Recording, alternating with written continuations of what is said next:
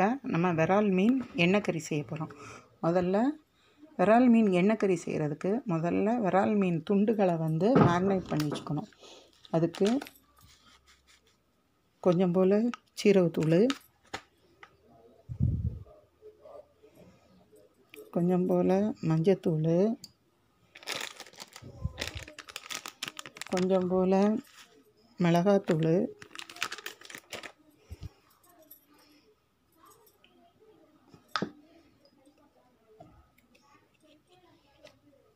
கொஞ்சம் மிளகுத்தூள்.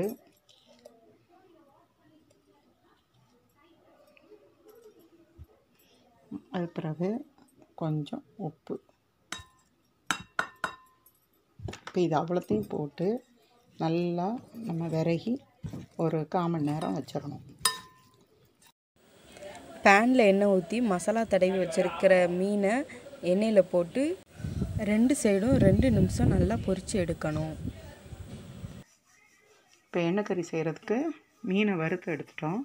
அடுத்தது அந்த மீன் வறுத்த எண்ணெயில் மிளகா அடுத்தது கருவேப்பிலை கொஞ்சம் மிளகாத்தூள் உப்பு இந்த புளி தண்ணி கொஞ்சம் நம்ம மீன் வறுத்த எண்ணெயிலே இப்போ மிளகா போடுறோம்.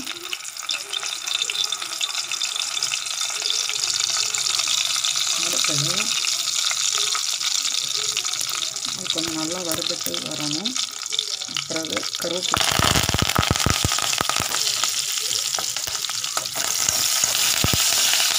கொஞ்சம் புளி கரைசலை ஊற்ற போகிறோம்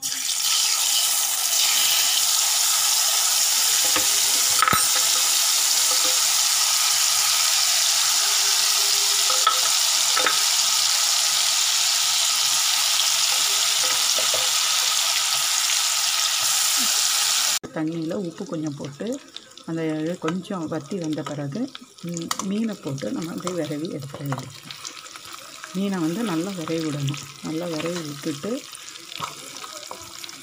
எடுத்துட்டோம்னா மீன் எண்ணெய் கறி ரெடி ஆகிடுச்சு மீன் எண்ணெய் கறி ரெடி ஆகிடுச்சு சாப்பிட்டு பார்த்துட்டு உங்களோட கமெண்ட்ஸ் எல்லாம் ஷேர் பண்ணுங்கள் எப்படி இருக்கணும் சொல்லுங்கள் தேங்க்யூ